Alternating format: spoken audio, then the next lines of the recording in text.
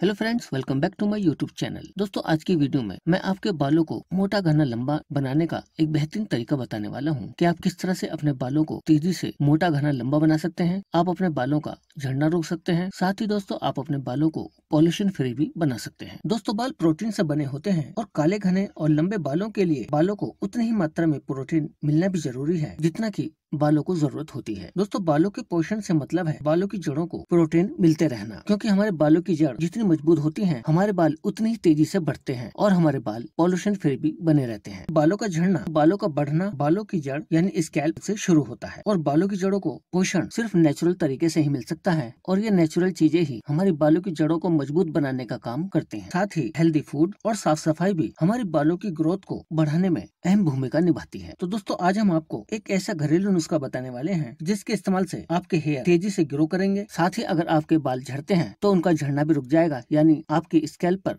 यदि गंजापन दिखाई देता है तो वो भी पूरी तरह से ठीक होना शुरू हो जाएगा। तो दोस्तों, इस नेचुरल उपाय को बनाने का एक नेचुरल तरीका है, जिसको आज हम आपको बताने वाले हैं। और इस नेचुरल उपाय को बनाने में हम सबसे पहले इस्तेमाल करेंगे इस प्याज का। आपको लेनी है एक प्याज और सबसे पहले आपको आधा चम्मच प्याज का रस निकालना है। तो चलिए हम इसको ग्राइंड कर लेते हैं।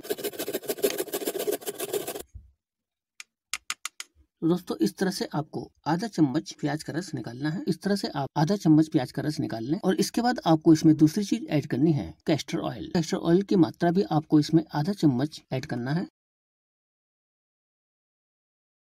के बाद इन दोनों चीज़ों को मिला लेते हैं। इस नुस्खे में इस्तेमाल की गई सामग्री को आप अपने बालों के हिसाब से कम ज़्यादा कर सकते हैं। इसके बाद आपको इसमें तीसरी चीज़ ऐड करनी है एलोवेरा जेल एलोवेरा जेल की मात्रा आपको इसमें ऐड करनी है आधा चम्मच। इसके बाद इसमें चौथी और आखिरी चीज़ ऐड करनी है, लेमन का रस। लेमन का रस आपको इसमें ऐड करना है छह से सात बूंद।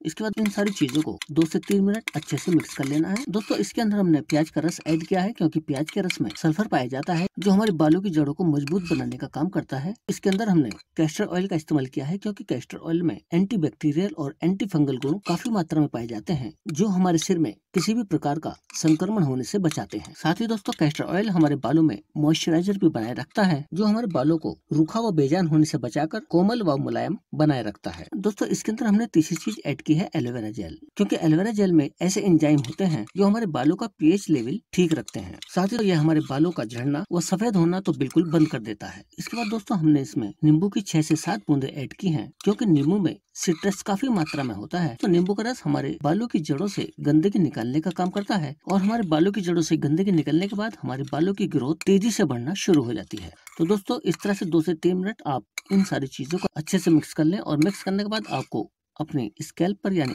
बालों में किस तरह से अप्लाई करना है वो हम आपको बताते हैं। दोस्तों इसको लगाने के लिए आप कॉटन का भी इस्तेमाल कर सकते हैं या फिर आप उंगलियों के सहारे से भी इसको लगा सकते हैं। आपको इसे इस तरह से लेना है और अपने बालों की जड़ों में इस तरह से अच्छे से मसाज करनी है।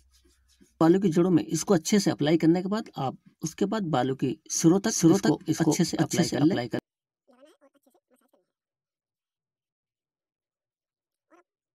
और अपने पूरे बालों में, यानी बालों की जड़ों से लेकर बालों के सिरों तक आपको इसे अच्छे से लगाना है और एक घंटे के लिए ऐसे ही छोड़ देना है और एक घंटे के बाद आपको अपने बालों को वॉश कर लेना है। दोस्तों, यह प्रयोग यदि आप सोने से पहले करेंगे तो ज़्यादा बेहतर होगा, क्योंकि पूरी रात में यह हमारे बालों की जड़ों में अच्छे से समा जाएगा, जिसके बाद हमारे बालों की जड़ें इसको अच्छे से सोख लेंगी और हमारे बालों में जो भी प्रॉब्लम है वो दूर होने लगेगी। ये थी हमारी आज की रेमेडी आई होप कि आपको ज़रूर पसंद आई होगी। अगर आपको इसके बारे में कुछ और पूछना हो तो आप हमें कमेंट बॉक्स में पूछ सकते हैं।